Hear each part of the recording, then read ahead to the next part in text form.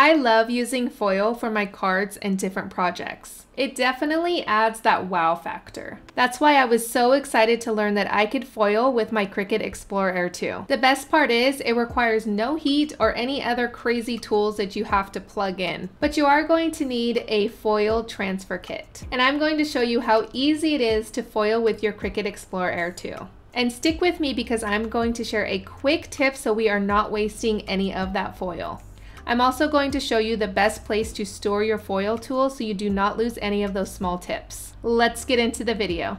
The foil transfer kit is compatible with the Cricut Maker and the Cricut Explore line of machines. In the kit, you will receive the housing, three different tips, foil transfer sheets, and tape. The three tips are easily interchangeable. The lines on the different tips indicate a fine, which is one line, medium is two, and bold is three. The tips are very small, so I like to store them in this compartment. This is a great compartment because there's already a magnet in there and you won't lose any of the tips. Now that we are more familiar with the kit, let's get into making a project. I'm going to start off by taking some heavyweight cardstock and placing it onto my Cricut mat. I'm going to decide what foil color I want. I decided on the gold. I'm going to place the foil right on top of my cardstock and I'm going to take the tape that is provided in the kit. I am going to place the tape halfway on the foil and halfway on the cardstock or mat, depending on where it lands. You want to make sure that your design is not going to overlap the tape and if it does, your foil is not going to transfer. It is also very important that you are stretching stretching out the foil so that it is as flat as possible. This is going to help ensure that the foil transfers completely. Now that our cardstock and foil are ready, let's head into Design Space.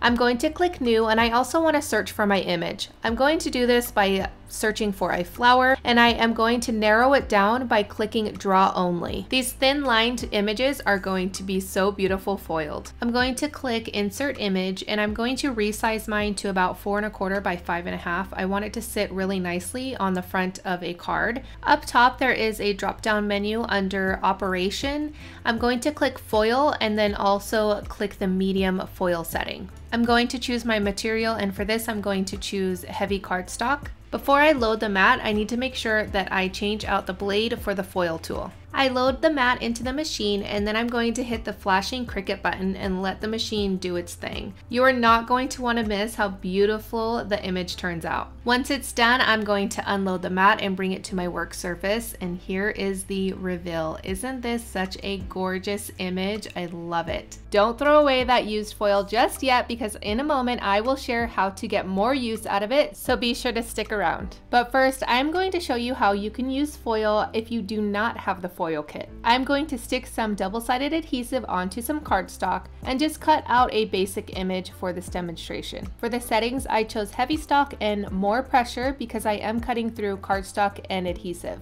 I'm using the Cricut poker tool to help me get the heart off the mat. Then I'm going to peel away the backing off the adhesive. I am going to take some Cricut foil and place it onto the side of the heart that has the adhesive. I will press firmly to make sure that the foil transfers and peel up the foil and as you could see it transfers to the adhesive very nicely. Now I'm going to share with you how easy it is to foil on top of vellum.